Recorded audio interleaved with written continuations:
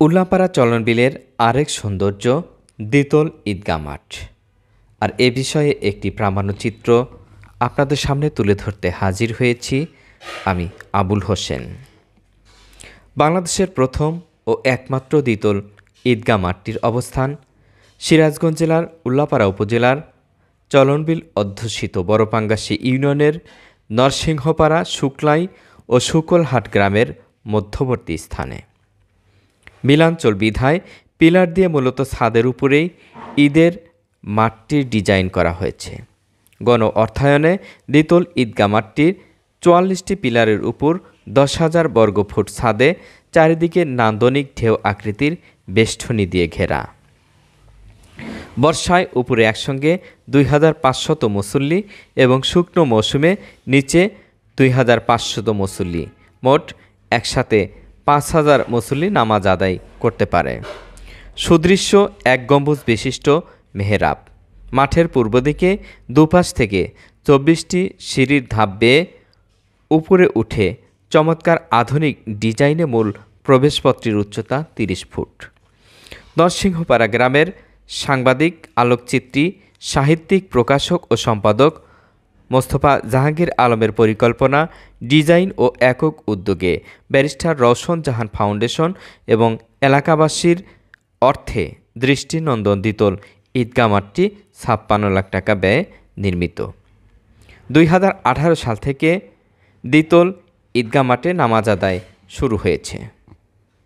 সবুজ শ্যামল প্রকৃতি, মেঠোপথ শস্যক্ষেত মাঠ, পাখির ডাক প্রকৃতির নৈসর্গিক দৃশ্য, প্রভৃতি এক প্রাণ প্রাচুর্য এনে দিয়েছে, চলনবিল অধ্যুষিত। বড়পাঙ্গাসী ইউনিয়নের নরসিংহপাড়া, শুক্লাই ও শুকলহাট গ্রামবাসীর মাঝে।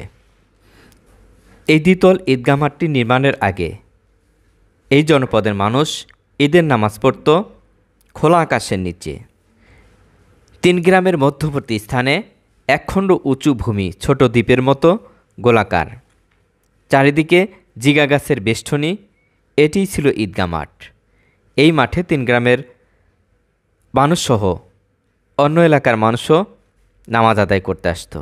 দুই হাজার পনেরো খ্রিস্টাব্দের তেইশ অক্টোবর, শুক্রবার দ্বিতল ঈদগাহ মাঠের মাটি কাটার উদ্বোধনের দিন ধার্য করা হয়। তিন গ্রামের মানুষের মধ্যে যেন একটি ঈদ উৎসব। সবাই পরিষ্কার, পরিচ্ছন্ন, পোশাক পরিচ্ছেদ পরে দল ভেদে মিলাদ মাহফিল ও দোয়ায় অংশ নেয়। এছাড়াও আশপাশের গণ্যমান্য ব্যক্তিবর্গও উপস্থিত হয়।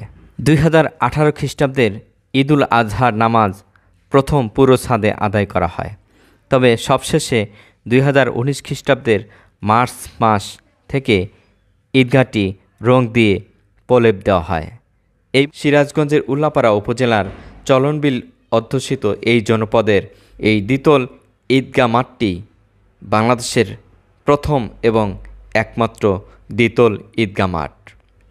এই ঈদগাহ মাঠটি চলনবিলের জনপদের জন্য একটি দর্শনীয় স্থানে পরিণত হয়েছে।